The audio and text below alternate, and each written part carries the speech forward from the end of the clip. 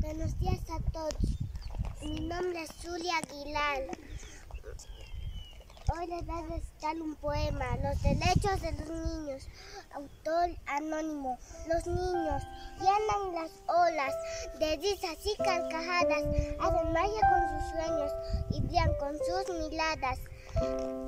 Nos regalan fantasías y nos venden ilusiones con el calor de sus brazos y el ritmo de sus pasos. Están tristes y apagadas. Sus sueños son imposibles y el hombre es como su pesadilla. Gracias.